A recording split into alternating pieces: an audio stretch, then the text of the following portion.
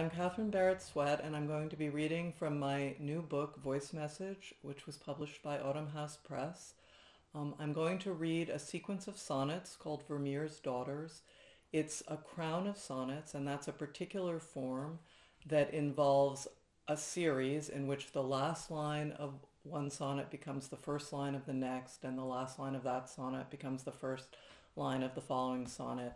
And my the series can be any length, but my series is 14 sonnets, and the great thing about that is then you get a 15th sonnet, which is comprised of all the first lines.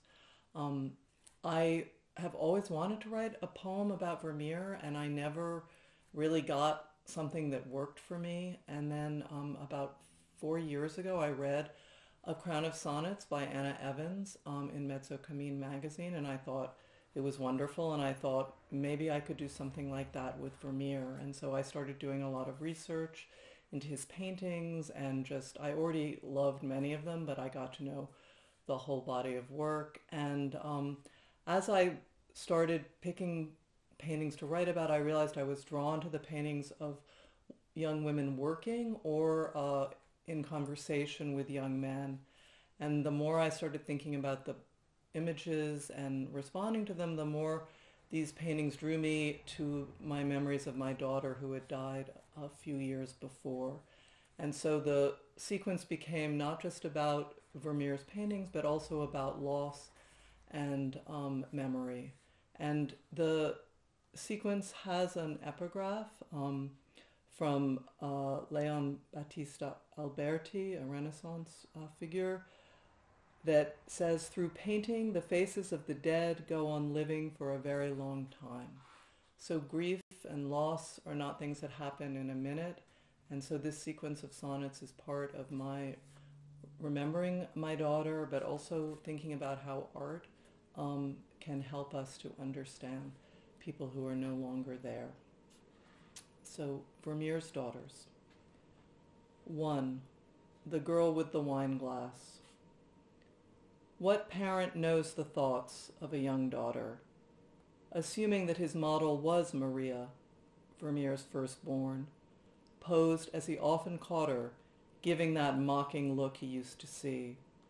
A kind I saw when my own teenage child stared at me if I tried to interfere with what she did. Her challenges were mild, a quiet distance captured by Vermeer. And all the space around his characters is calm, the open window, patterned tile. The viewer's free to see what she prefers, the suitor's leer, the maiden's too broad smile. Some parents might be glad never to know what her mysterious glance might really show. 2. Woman in Blue reading a letter. What her mysterious glance might really show, how can we guess? She doesn't look at us. White letter floats above, blue dress below, spreads all around. Her waist's voluminous, while flattened on the wall another globe suggests the father writes from overseas. But now the scholars say her ocean robe may just be fashion and not pregnancy. When I was pregnant, I just looked too fat, so on the bus most riders let me stand. I'd read a book with half a mind on what I read, another half on what I planned or hoped to do once I had had my daughter. A window opened on the sound of water. 3. Officer and Laughing Girl. A window opened on the sound of water. Her face is glowing with great happiness. What is she thinking of, this burgher's daughter? The beauty of her showy mustard dress, his gallant gesture, confident and bold. A velvet elbow and swashbuckling stance creates a shining triangle of gold. Together, they're an emblem of romance. This memory of what love used to be, a golden haze, a dash of velvet red, a glass of wine, and possibility of travel in the map above your head. Now they're long gone and have nowhere to go. Vermeer paints what we know we cannot know. 4. Girl reading a letter at an open window. Vermeer paints what we know we cannot know, The light appears miraculously on pearls. The figure vibrates in a yellow glow that filters through the leaded pane. His girls are either sinking deep inside their heads or staring from the frame at Jan Vermeer, whose vision of their shining golden threads the camera projected to his rear. He paints another view of her that hovers, a gibbous face faint in the window fog, while scholars speculate about her lovers and iconography they catalog, the fallen fruit, the rumpled rug, gold curl, I only feel the distance from the girl. 5. A woman asleep. I only feel the distance from the girl, alone, asleep. We know our children drink, and in their drunkenness the room might whirl, but we cannot imagine what they think. X-rays show us an absent man, a dog, as if the work were painted by De Witt, a pooch in the church, or Maes, or Pieter de Hooch. Could she be drunk and snoring just a bit? Above her on the wall, a painted mask, suggests the same small drama might exist. But as I never got the chance to ask, whom my dead daughter might have loved or kissed, or if she died untouched, she never said. Before her is a solid barricade. 6. Woman with a pearl necklace. Before her is a solid barricade, abandoned instruments and furniture, a monument of light and stiff brocade a golden jacket trimmed in spotted fur that signifies the season and the class, and that the painter liked this warmer hue against her skin as she looks in the glass, as if adornment's all she has in view. She puts her mask on for the world to share, the mask the painter paints and lets dissolve, the mask that seems to say she does not care, a mask whose studied beauty can't resolve the meaning of this enigmatic girl, a grace note struck that shimmers like a pearl. 7. Woman with a lute.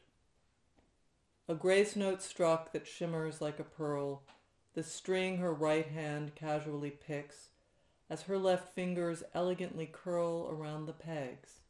Below, the harmonics are sounding on the half-forgotten viol. She's far from us, her back against the wall, and does the curious glance, the subtle smile, suggest she hears her suitor in the hall? No narratives provided by Vermeer. The lover might be far, the map behind. The instrument might be a sign he's near.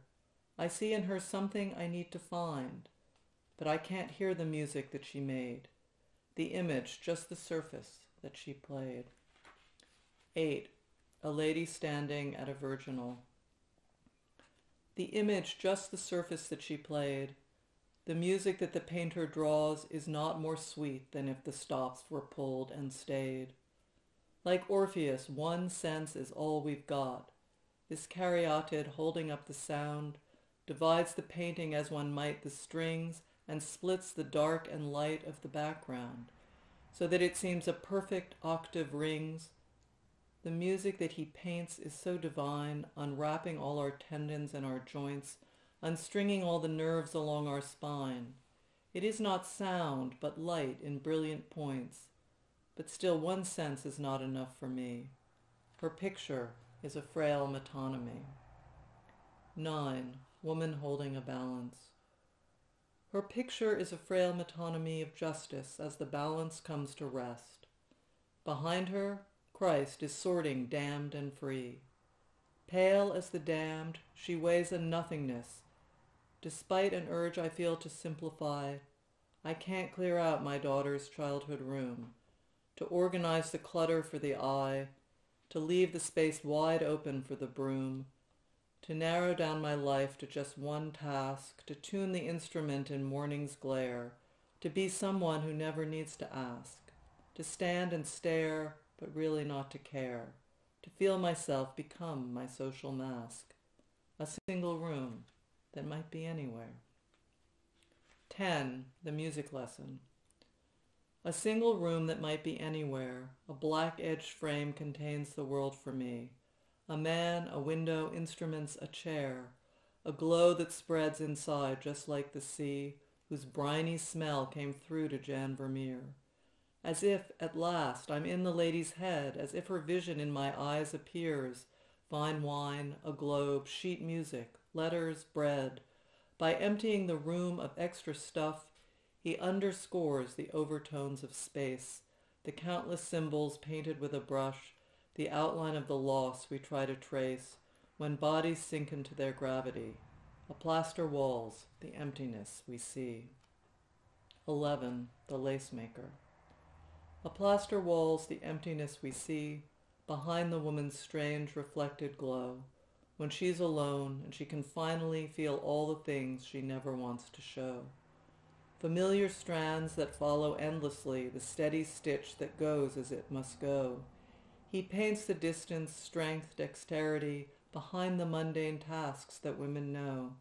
The patience, art, and industry to sit for hours dissolving in the sunny plaster, a face half lit, her fingers poised to knit, and nothing telling her she must go faster. In moments when our thoughts and work cohere, for every one of us, a small Vermeer. 12. The Milkmaid. Where every one of us a small Vermeer, ourselves emerging from a hand or face, this maid has massive shoulders, arms, and rear that fill and organize an emptied space. The painter shows his own delight in work by rendering her focus at her chore. The elegant precision as she measures. It seems the tiny tile at the floor of Cupid might suggest some other pleasures. The broken pane, the rough-hewn plaster textures, the wet on wet, impasto, glazes, scumbles, techniques that scholars teach in schoolroom lectures, the inward focus, as the outward crumbles, this knowledge that we're always on the brink, just as the liquid pours, but never sinks. 13. A young woman with a water pitcher. Just as the liquid pours but never sinks, I every day defy the gravity, deny there's any reason why I blink, except perhaps a mote caught in my eye. Behind her form, the map and sun-splotched walls the lightness where her dark dress is immured. Outside the colored glass, the morning calls of sailors and the slap of boats secured. Preparing her ablutions for the day, she heard the neighbor's baby as she laughed and smelled the rotting food and salty spray. She's shutting out the boats and morning draft. But these are only my imagined links. There is no story telling what she thinks. 14. Girl interrupted at her music. There is no story telling what she thinks. Our own close-guarded children can't be known. So we extrapolate from the small chinks in adamantine armor they have grown. Vermeer reminds me of my ignorance. With any child, insight comes unplanned. From time to time, an unexpected glance creates the image that we understand. I try to find my daughter who is dead in music, painting, or a carved stone name.